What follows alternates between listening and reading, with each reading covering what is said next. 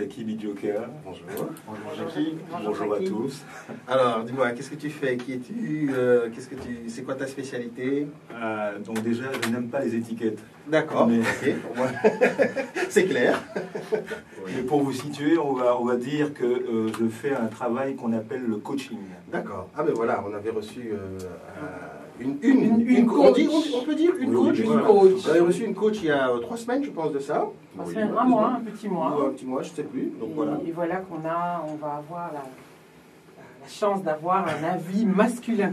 Bon, ben parfait. Alors, euh, en attendant, moi, on aime bien ici faire donc euh, nos entretiens à la deuxième personne du singulier. Je pense pas que ça te pose un problème. Non, aucun. Bon, parfait. Bon, on, écoute, on revient euh, dans deux minutes en musique. Euh, C'est quelque chose que vous connaissez aussi. On peut lancer, puis on commence notre entretien. Je reprends.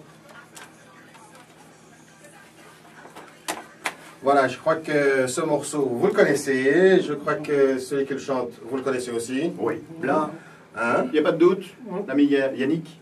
Bon, exactement. On est toujours, on est, on est toujours dans le rythme, non? Oui. Toujours dans le bon réveil. Bon, vous êtes toujours en direct donc sur BXFM que vous pouvez suivre à Bruxelles sur 104.3. C'est votre radio bruxelloise, votre radio européenne. Et vous êtes ici sur une fenêtre ouverte sur l'Afrique dans d'Africa Weekend. Nefertiti. Cher invité, j'ai ouï dire que vous étiez un bon ami à Yannick. Tout à fait. Quel est le point commun euh, qu'il y a entre Yannick et, et toi? Bah, par exemple, déjà l'origine, quoi. Ah, d'accord. Ah oui, est c'est vrai, tu nous as pas dit. tu- Ah oui. On est originaire du Ah même oui. coin, Du même- Cameroun. Donc, Cameroun, voilà. Ah, d'accord. Ah ben donc tu es ravi alors euh, sur le morceau qui vient de passer. Complètement, complètement. quel accueil, quel accueil, quel accueil. Qu'est-ce que tu peux nous dire sur le Cameroun? Tu, tu, quoi, tu viens de la capitale? C'est pas la capitale du Cameroun, c'est Yaoundé, Yaoundé. hein, si je ne m'abuse. Voilà. Bon, au fait, je voulais juste faire une petite parenthèse. Euh, le 13 décembre, nous fêtions le 50e anniversaire de l'indépendance du Kenya. Euh, donc au niveau de la programmation musicale, évidemment, on a fait euh, un petit mix, quand même, enfin j'ai fait un petit mix pour essayer de, de plaire à tout le monde, c'est-à-dire à notre invité. Hein, on a mis quelque chose du Cameroun, mais la plupart des morceaux seront euh, du Kenya. Oui. D'accord on va pas faire un truc spécial euh, comme on avait fait pour l'Afrique du Sud où toutes les chansons seront ben, voilà. Mais quand même, je tenais à rappeler que ce sont les 50 ans du Kenya, donc petite parenthèse. Alors je voulais juste revenir aussi sur une petite chose euh, euh, qui quand même a besoin d'être dite. Puisque j'ai reçu quelques appels, euh, j'ai des amis qui m'ont dit euh, lève le pied, euh, ceux qui me connaissent bien, ceux qui me connaissent un peu moins m'ont demandé si j'avais mangé euh, du lion enragé ou pas, puisque j'étais assez survolté la semaine dernière. Ah, tout à Alors, fait. Euh, ceux qui auraient pu être froissés par cette attitude, bien écoutez, permettez-moi de m'excuser, mais à ma décharge, je voudrais simplement vous dire que voilà, nous avons des métabolismes un petit peu différents et j'espère que notre invité pourra confirmer ça puisqu'il a été coach sportif et je le sais. C'est-à-dire que certaines personnes, lorsqu'elles sont dans une extrême fatigue, plutôt que d'être très molles, eh bien deviennent un peu plus surexcitées, ce qui était un petit peu mon cas. Donc voilà, rassurez-vous, tout ira bien. tout reposé cette Oh. semaine. Ah mais oui, écoute, euh, on, on- on essaye quand même de faire... euh, Qu'est-ce qu'ils disent survolté Il était sulfureux. Il était, il était euphorique au départ et sulfureux. Non mais bon, ça arrive. hein. Mais c'est vrai ce que j'ai dit ou pas? Complètement, complètement, complètement. complètement. euh, tu, as, tu as envie de poser une question déjà à notre, à notre invité? Non, pas encore. On va lui laisser euh, l'occasion de- d'avancer avec Mais quoi, Yannick, c'est c'est- c'est- c'est vraiment un pote Genre, euh, au tu pote. téléphone, tu lui dis tu et tout Oui, euh, complètement. D'accord, tu m'intéresses alors. Vraiment, vraiment, tu Complètement, m'intéresses. complètement, complètement. C'est sympa ça, on a quand même des invités très très intéressants. Ma première raquette de tennis, c'est lui qui me l'a offerte, alors. je- Ah, ah bon. D'accord, tu, joues, tu joues au tennis aussi. Ah oui, il paraît. Et, et, euh, coach sportif en fait, euh, parce que c'est, c'est, hum, comment, c'est aujourd'hui, c'est, je sais que tu n'aimes pas les étiquettes, hein, tu m'as dit, mais c'est vraiment en fait, c'est la base de, ta- de ta profession ou c'est, À la base, oui, j'ai commencé par le, par le coaching sportif et précisément par le tennis. d'accord. Ah Donc ouais. tu coachais tous les tous les jeunes euh, tous les jeunes talents euh, français, euh, parce que tu as vécu en France. hein, si je- si je me souviens bien. Exactement, exactement. Bon, Voilà, donc euh, les équipes ont fait du, du- du bon boulot. On en est où? Alors aujourd'hui, on aura une revue de presse. Ah, Une petite question. Je ne te connais pas et dis-moi, explique-moi un peu pour que je puisse euh, euh, comprendre. Existe-t-il une spécificité purement camerounaise Euh, Quelque chose qui est propre aux Camerounais, qui fait que je ne te connais pas, je te vois et je peux dire ça c'est un Camerounais. Parce que Et une nouvelle fois, je rappelle qu'il n'aime pas les étiquettes. mais C'est vrai, c'est vrai, t'as raison. c'est vrai, mais bon, on doit. On Mais il y y a- il y a une spécificité, spé- spécificité pardon, belge, je vais y arriver. Par exemple, elle, elle est peut-être pas vraie. Veux dire, voilà, euh, on associe la frite aux Belges. Je veux dire, ça- c'est un truc dans ce genre-là, quoi. C'est voilà. ça que je veux dire. C'est c'est le truc où on, on a- on arrive chez toi, euh, on s'était pas parlé, mais rien que, avant que tu me le dises, avant que tu nous le dises, on, sait a, que t'es com- on a compris que t'es Camerounais. On sait que t'es Camerounais parce qu'il y a un indice, il y a, il y a quelque chose de typique. Est-ce qu'il y a. Ho- Honnêtement, euh, objectivement, j'a- j'arrive pas à en trouver. Il y a 300 ethnies au Cameroun. Et donc, euh, déterminer un point commun à toutes ces 300 ethnies, c'est une gageure euh, particulière. Ouais. Euh, je dirais euh, l'accent, par exemple. Euh, je trouve que les Camerounais se, se reconnaissent assez vite ou assez facilement par, par l'accent. Ils- ont, ils ont un truc, voilà, le, le Camerounais du nord ou du sud, il y a un truc camerounais, quoi. Ah, Voilà, et puis l'accent. et puis l'autre particularité qui, que, je, que je note, c'est c'est l'excellence, c'est l'envie d'excellence. Je trouve que les Camerounais ont un, un truc comme ça qui, voilà, qui, les, qui les singularise, cette envie particulière d'excellence. Même dans le chaos, même dans le désordre, même dans la désorganisation, ils, parviennent à trouver comme ça une stimulation, une émulation, une motivation, une ambition voilà, pour l'excellence. D'accord. Et quoi, et au niveau culinaire, par exemple, euh, est-ce qu'il y, a- il y a- est-ce qu'il y a un plat national quand même Euh, euh, uni euh, Je crois que le, le- le plat qui me vient à l'esprit à l'instant, c'est- Mhm. c'est le ndolé. Quoi. Ah oui, oui. Ouais. Tu, tu connais? Oui, oui, je connais. Mais pour, mais, mais, mais pour l'accent, je suis, je suis d'accord avec, euh, avec euh, Jackie, mais il était bon que ce soit toi qui le dise, hein, en, en- étant donné que je ne suis pas camerounaise. Et il est vrai qu'on vous, re- on vous distingue directement lorsque vous ouvrez la bouche. Hein, c'est vrai. C'est vrai que vous avez un accent particulier que d'autres ne remarquent pas, mais en tout cas, entre nous, on, on- on le, sent, on le sent bien. hein. Ah non, moi je trouve pas que tu as un accent particulier. Non, non, pas lui, pas lui, mais quand Mais- un mais les Camerounais. Camerounais, quand même. Bon, mais les Camerounais. Jackie n'est pas non, le non. seul Camerounais, n'est-ce pas? D'accord, mais il, est, tout il est- à fait. il est quand même camerounais et je note qu'il n'a pas un accent particulier. Bon, que ceci ne nous mette pas de mauvaise humeur comme nous avions tout bien commencé. On va repartir en musique. Euh, on part. euh, J'ai une deuxième question pour toi en tant que Camerounais, puisque bon voilà, hein, tu le représentes. Euh, là, je vais plutôt être euh, assez euh, restreint dans le sens où euh, je suis africain. j'ai envie d'investir en Afrique, mais il s'avère que voilà, moi je suis pas camerounais et dans mon pays, comme tu le sais, pour le moment et malheureusement en Afrique, il y a encore des pays où la stabilité est assez, assez, forte. Euh, mais mon esprit d'entreprise, hein, ou mon esprit d'entrepreneur, pardon, je sais pas, euh, qu'est-ce qui est juste? Entrepreneur. Oh, Voilà, je suis un jeune entrepreneur. Je veux investir au Cameroun. Pourquoi est-ce que j'investirai au Cameroun? Quels sont les attraits aujourd'hui euh, pour un, investisseur qui vient d'ailleurs, notamment s'il est africain enfin, Bah déjà, euh, par l'élément premier que tu as évoqué, à savoir la stabilité euh, politique. Donc, c'est. C'est une fierté, ça, pour les Camerounais que... Qui jamais eu la guerre.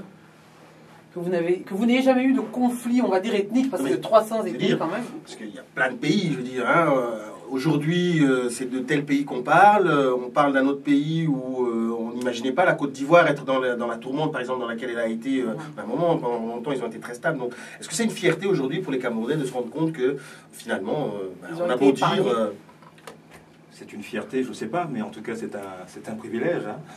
C'est un privilège, c'est un privilège quand on connaît les dégâts que ça, ça produit. C'est un privilège que de passer à travers le temps, l'histoire, sans tous ces, euh, voilà, tout- toutes ces cat- catastrophes, tous- tous ces cadavres. Quoi. Et donc, en plus de la stabilité politique, quel serait euh, l'argument, euh, s'il y en a de plus, pour pouvoir justement investir au, au Cam- au Cameroun? C'est le dynamisme de la population, je trouve. Ce sont des gens, comme vous l'avez évoqué il y a quelques instants, avec le Olivier Madiba. Oui. Il y, a- il y a vraiment une population, moi je trouve, hein, Mhm. je vous ai dit tout à l'heure que un des signes particuliers que je notais chez les Camerounais, c'est ce goût de l'excellence. quoi. Mhm. Donc je, je trouve que ce sont, ce- c'est des gens qui, euh, avec lesquels il est intéressant de, voilà, d'affronter ou d'aborder des challenges. Et, et dernière petite question avant qu'on retourne encore sur un petit voyage euh, musical qui va nous ramener au Kenya, puisqu'on les met quand même un petit peu à l'honneur. Euh, quel est pour toi le pays, le, le- le concurrent direct du Cameroun en Afrique subsaharienne? Ça peut être au niveau sportif, ça peut être au niveau du rayonnement, ça peut être au niveau de la stabilité, enfin peu importe. Mais dans, dans- dans l'âme commune au Camerounais, qui est le concurrent direct? Je n'en trouve pas là comme ça, mais je dirais, euh, je n'ai pas une très bonne connaissance de la, de la, euh, de l'Afrique du Sud. Euh, J'entends dire beaucoup de bien du Ghana. Mhm. J'entends dire beaucoup de bien du Ghana. Euh, bien entendu, le, le- le pays frontalier euh, le plus important d'Afrique noire, c'est bien entendu le, le Nigeria qui est là. Mais il y a euh, malheureusement au, au Nigeria autant de choses excellentes et, et superbes qu'il y en a de, de déplorables. Donc c'est c'est un peu difficile de, de les prendre en, en termes de, de repères ou de références à ce niveau-là. On peut, on, peut, on peut trouver le meilleur et le pire euh, au Nigeria. En effet, je lisais encore hier justement un fait divers assez atroce, mais bon, on n'est pas là pour en parler. Par contre, euh, ils ont inventé le premier drone africain. Il est euh, j'ai vu ça. nigérien. T'as vu ça? Oui. Ah ben voilà. Ah, vu, ben. euh, ah, c'est bien, je vois que tu commences à chercher l'information africaine. L'information vient jusqu'à moi, mais je la lis. Ah, tiens, tu, tu commences à être contaminé. Très bien, très bien. Bon, allez, un peu de musique, comme on l'a dit. Donc, on retourne au, Kenya. Il chante euh, My City, My Town en pensant à Nairobi. C'est doucement J'ai beaucoup de questions, mais bon, comme euh, Tia vient de le dire, on n'a pas beaucoup de temps. Alors, la question qui me. La, la première qui, qui va amener une autre sous-question. Mais c'est plutôt une question est- dans, dans le cadre de, de- De, du coaching. du coaching. hein. Quel est le genre de coaching que tu pratiques ou que tu proposes? En général, comme euh, je l'ai indiqué au au départ, début oui. de mon propos, euh, n'étant pas dans les, dans les étiquettes, mon coaching est large. Il est essentiellement pour tout ce qui est problématique humaine, en général. Donc ça part, euh, enfin tout ce qui concerne l'humain touche à mes, à mes, à mes cordes de, de- de- de compétences. de compétences. Voilà. Ah. Et euh, pourquoi est-ce que je me tournerais vers un coach? Parce que j'ai- un peu l'impression, ça c'est ma sous-question, j'ai l'impression que voilà, le coaching fait de mode, euh, tout le monde en parle, euh, ou peut-être que c'est une, euh, on va dire, quelque chose qui se rajoute à l'Europe. C'est-à-dire que les gens sont tellement, les gens courent ici, les gens courent dans tous les sens, et on entend, c'est maintenant qu'on entend parler de coaching. Il y a, il y a 20 ans, je, je ne connaissais même pas le mot, hein, peut-être en anglais, mais je ne connaissais pas ce phénomène. Alors pourquoi est-ce qu'on se tourne vers un coach? Qu'est-ce que c'est un coach? Est-ce que la société européenne a créé euh, cette nouvelle profession pour- parce qu'il y a des gens qui sont mal dans leur peau? Explique-nous un petit peu. euh. Non, mais je, pense que euh, pendant longtemps, les, les humains ont, ont évolué dans un système euh, dans lequel ils s'appuyaient essentiellement sur la science, sur la technique, sur la technologie, etc. Et au fur et à mesure que l'humain évoluait, il perdait de plus en plus sa part d'humanité. L'humanité, l'humain n'est pas une chose technique, n'est pas une chose scientifique. L'humain, c'est l'humain. Et qu'est-ce qui, euh, qu'est-ce qui fait euh, la particularité de l'humain? C'est justement toute cette partie euh, que l'on n'explique pas à partir de la technique et de la technologie, etc. D'où l'importance de- de- de- du coaching. Vous dites que euh, dans le passé, euh, en Europe, enfin, vous situez le coaching essentiellement comme un besoin européen. Non, euh, le, le coaching, c'est humain. En Afrique, par exemple, les... Mais ça n'existe pas en Afrique. Je veux dire, si, si, si, si. Pas en termes, on- n'appelle pas ça coaching. C'est Ah un oui. phénomène que je, que je découvre ici. Oui, mais je veux dire- Pour, pour avoir été régulièrement en Afrique, je ne connais pas de Mais la coach. dernière fois que tu as été en Afrique, c'était quand? Non, mais il y a Mais non, quelques mais- années. Non, mais attends, mais non, la dernière fois que tu as mis tes pieds en Afrique, c'était quand? Tu sais très bien qu'en Afrique, c'est pas, Parce que, c'est pas parce avec que- un coach mais non, parce que l'évolution des choses, parfois, je veux dire, euh, si on avait l'habitude que les choses évoluent et changent en 10 ans, avec la mondialisation, puisqu'on en parle, et ça c'est vrai, il y a des choses qui aujourd'hui, en deux ans, peuvent changer. Je veux dire, tu, tu, tu, tu vas, euh, après deux ans dans un quartier, il a totalement changé, mais le problème c'est que c'est soit en bien, soit en mal. Ouais. Mais bon, euh, si c'est en bien, ça évolue beaucoup plus rapidement Je, suis d'accord. Je suis d'accord avec toi, mais bon. Mais ne, stigmatisons pas le mot. Mhm. Restons sur l'essentiel, Mhm. sur le contenu du mot. Mhm. Le coaching, depuis que l'être humain existe, il existe du coaching. Qu'est-ce que c'est que le coaching? Le coaching, c'est un, c'est, de l'éclairage, c'est de la vision. Mhm. Ok, donc tous les êtres qui sont euh, des êtres qui éclairent, qui entraînent, qui emmènent les autres vers autre chose ou vers un but, sont, sont- sont des coachs. C'est ça le coaching. C'est- Oui, d'accord, mais moi je comprends là, quand même la, la question de, de Nefertiti dans le sens où euh, aujourd'hui c'est présenté comme un métier. Comme un métier, euh, qu'on peut un- apprendre. Alors voilà. que si tu dis que euh, être coach c'est être éclaireur, je pense quand même que euh, ben, n'est pas donné à tout le monde d'être coach et qu'on Ah. n'apprend pas l'écolage du coaching. Vous voyez, vous voyez, vous voyez qu'on se retrouve hein, quand on parle des étiquettes. Sur les fondamentaux des choses, eff- effectivement, c'est la perversité de la profession. On est dans un monde qui est professionnalisé, on est dans un monde qui est structuré. Donc, les valeurs fondamentales, donc, je parle donc du coaching, de l'humain en fait, l'humain en soi n'est pas une profession. On n'aborde pas l'humain d'un point de vue professionnel, objectivement parlant. Maintenant, si on le fait objectivement parlant, il faut, il faut, il faut avoir un métier, hein, une profession. Donc forcément, on met des choses dans des cadres qui ne sont pas forcément les bons cadres. Mais alors, je vais, je vais jouer l'avocat du diable, si tu permets. Euh, ça veut donc dire que euh, quand je vais voir mon médecin, mon docteur, sa profession, c'est euh, docteur, médecin, mais en vérité, c'est d'abord un rapport humain euh, qui est entre lui et moi. C'est fondamental. D'accord. Fondamental, Je- fondamental. je- je- On l'a per- on l'a perdu, on le perd de plus en plus Mhm. par justement la notion de profession. En, en réalité, un coach n'est pas un, n'est- c'est pas un métier, euh, coach. Coach, c'est une vocation. C'est une vocation, c'est une nature. D'accord. Bernard, tu as envie de. Non, je tu- vraiment ça une vision euh, du monde actuel qui est intéressante parce que c'est vrai qu'on oublie, on oublie complètement que la, la- la- la part humaine. Et c'est vrai que mettre tout, tout, tout avec une, une fonction, un métier, euh, ouais, ça, ça limite un peu la vision de- du monde. Et les rapports, hein, Oui. et les rapports entre les gens. Bon, Romain, tu es disposé à nous mettre un peu de musique? Ouais, il dispose. On reste au Kenya. Euh, ma dernière question à toi, Jackie. Question de femme. Voilà, je suis une femme. Je viens euh, te, te voir, je viens consulter. Est-ce que ton approche sera différente parce que je suis une femme ou, ou- ou si c'est un homme? Je me pose la question. Euh, oui, a, a priori, je dirais une fois de plus, pour ne pas m'enfermer dans une étiquette quelconque, je dirais non. Euh, la, chose princi- enfin, la chose première qui m'importe, moi, euh, lorsque j'accueille quelqu'un pour du coaching, c'est d'abord sa propre sensibilité. Donc, que cette personne soit une femme, Soit ou, un homme, peu importe, c'est c'est la sensibilité première que cette personne dégage qui va être mon outil principal de, de travail. Ah, ok. C'est très clair. Donc quoi, on peut, on peut conclure qu'en fait, il n'y a pas vraiment de... Enfin, je pose cette question-là parce que euh, j'ai une question qui va plus ou, plus ou moins dans le même sens. C'est-à-dire que et je l'avais posée euh, à notre invité euh, coach, euh, prénom, Nadine Nadine. La question est, la suivante, parce que tu évolues ici, tu as évolué à Paris, donc tu t'es, occupé justement des sportifs, et- etc. Euh, D'abord, de un, dans le monde sportif, ce qu'il y a de bien, c'est qu'il y a déjà une multiculturalité euh, naturelle de base. On trouve euh, des, blancs, on trouve des noirs, on trouve euh, voilà, les, les- amoureux du sport. Euh, moi, ce que je voulais savoir, et j'ai toujours voulu savoir, mais c'est plutôt dans le cadre de ton travail à toi, hein, donc pas la, différence que tu as pu observer, mais dans le cadre de ce que ça impacte dans ton travail à toi. C'est est-ce que ça change ton approche du coaching selon que tu vas coacher un occidental ou selon que tu vas euh, coacher un africain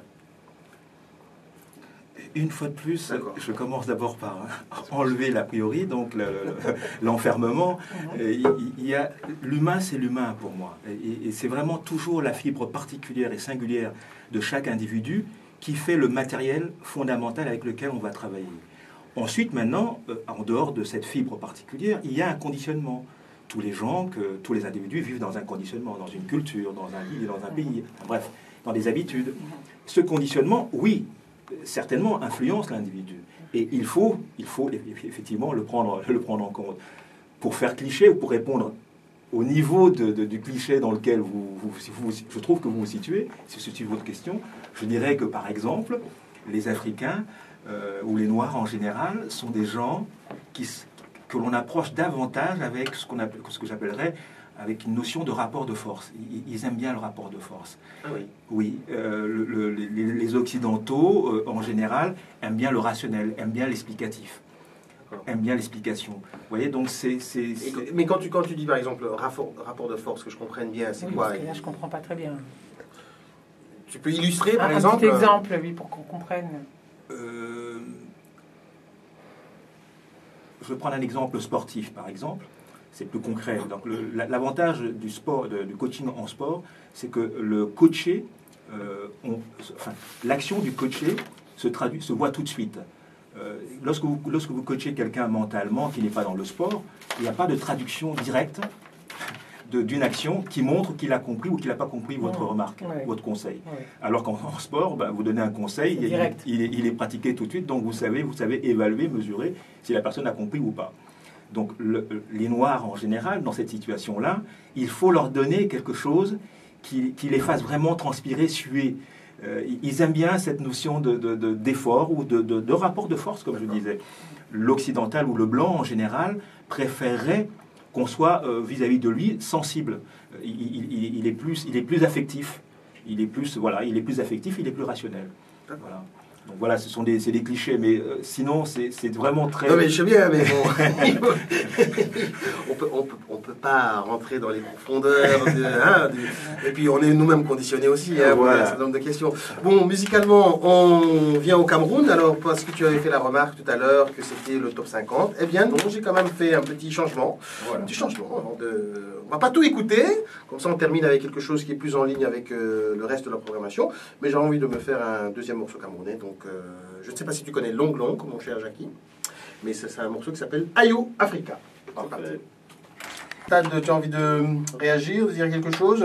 Mais je trouve que tout s'est bien passé aujourd'hui. Ah bah écoute, euh, on a eu un petit couac une fois, euh, c'est non, bon. mais hein non, je ne veux pas le rappeler.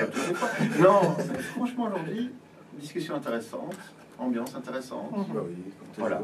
Nefertiti, qu'est-ce que tu as envie de dire pour la fin? Ah, que j'étais très heureuse de- d'accueillir Jackie. Et dommage, hein, on, on ne fait que l'intro. On n'a pas suffisamment de temps. Le temps, le temps court. Ça veut dire qu'il reviendra. Absolument. C'est comme ça. qu'est-ce que- Bah oui. Tu es le bienvenu. Hein.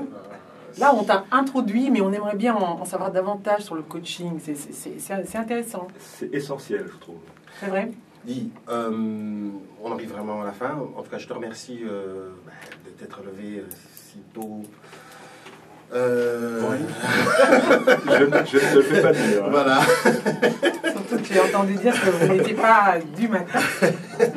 Ça va, n'exagère pas, ne rajoute pas les fertitis, c'est bon. Euh, Dis-moi, est-ce que tu as une petite annonce que tu veux partager avec nous, euh, personnelle, euh, qui mérite d'être entendue par les auditeurs de BXFM Euh, oui, euh, introduire, parler de- d'un artiste africain euh, de renommée mondiale, euh, voilà, qui est euh, pas toujours euh, mis en avant dans les milieux africains, Qui est-il? Qui s'appelle Billy Bidjoka, tout simplement. Voilà, Billy Bidjoka.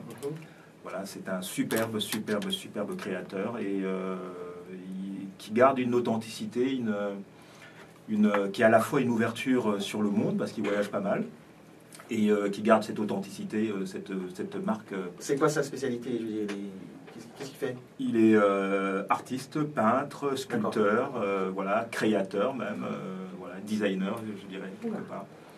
Donc voilà, c'est c'est quelqu'un qui a, qui a beaucoup, beaucoup, beaucoup, beaucoup de talent. Voilà, Billy Bijoka. Billy Bidjoka. Ok. Et j'en profite aussi pour, puisque l'on parle des Bidjoka, dire aussi que sur la place de, de Bruxelles, il y en a un autre fort célèbre que je crois qu'il n'est plus nécessaire de présenter celui-là, c'est euh, Victor Bidjoka, dit Shuba, Ah euh, le, le roi, le king des, des nuits euh, Bruxelloises. bruxelloises, Voilà, Dans ces ambiances africaines. voilà, voilà. On finira par connaître toute la famille. En tout cas, merci infiniment pour votre accueil. Non, non, non, c'est C'est ça. sympa. C'est nous qui t'en J'espère que tu reviendras, hein, vraiment. Avec euh, plaisir, avec plaisir. avec Ah, plaisir. Bernard, c'est un invité qu'on peut Oui. te rappeler. hein. Rappeler, hein, il y a- Bon, bien. Il y a beaucoup de choses, il y a beaucoup de choses à dire encore sur le coaching. Merci. Bernard, on se voit la semaine prochaine Mais bien sûr, Pierre. Aussi zen euh, qu'aujourd'hui Si pas, c'est pas grave. Bon, dis-moi, euh, je te préviens quand même que